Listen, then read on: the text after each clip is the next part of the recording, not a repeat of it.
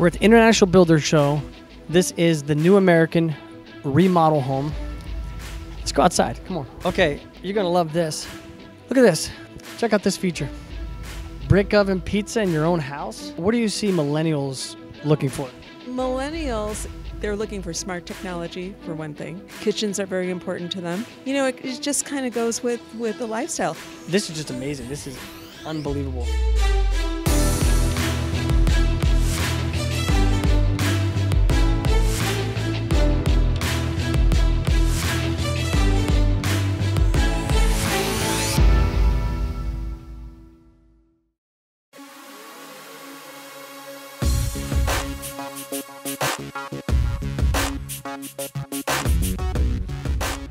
Let's go outside. Come on.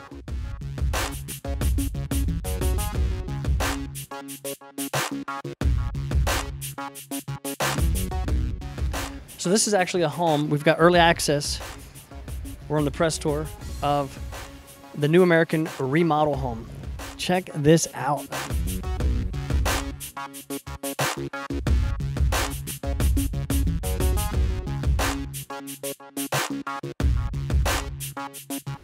This is just amazing. This is unbelievable.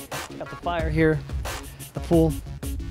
How, are you enjoying this so far? I am loving. Wh- who are you with? I write a design feature that's syndicated to, to, to 150 newspapers all over the country.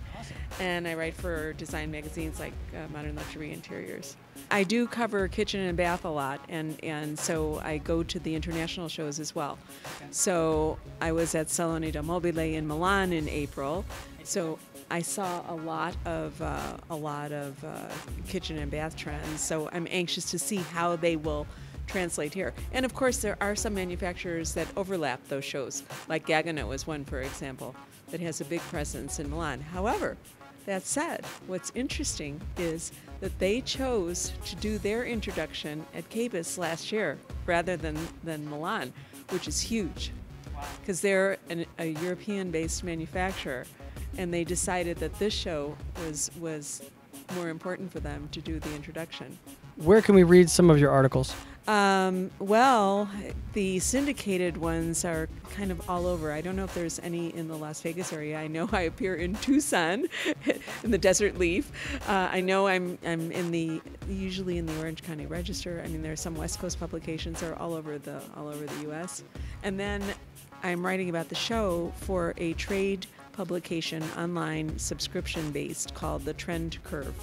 Trend Curve. Is that Curve. is it the trendcurve.com or how do we connect? TheTrendCurve.com. Let's check it out, thetrendcurve.com. Let's go upstairs. Let's go check this out. Okay. You're going to love this. Look at this. Check out this feature. Watch this. Brick oven pizza in your own house. It's a Hearthstone outdoor. Let's check that out. What, what do you see millennials looking for? Millennials, it, it's kind of hard hard to say, but I mean, they're looking for smart technology for one thing. That's really important to them. Um, I, they're not looking for huge homes. And I don't know in terms of square footage, I really haven't read enough research on, on that demographic to, to be able to, to tell you. But, um, you know, it, it just kind of goes with, with the lifestyle. Kitchens are very important to them. Um, you know. What about you were mentioning this furniture here? Yeah. Talk to us about that.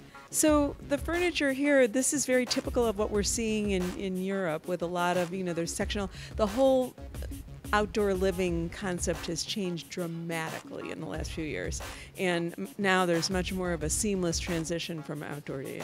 And, and also you will find that the style of furniture is going to match the style inside much more than it ever did before. Because it's You know, bo- both in colors and shapes, um, you know, the modernity of this, you know. they're also lower, They are lower. Yeah, that again, that goes to the modern style. You know. minimalist kind of theme. Yeah, exactly. Exactly. Let's go check out like around the different parts of the home too. Come around here. You got to come over here. Let's see what these are.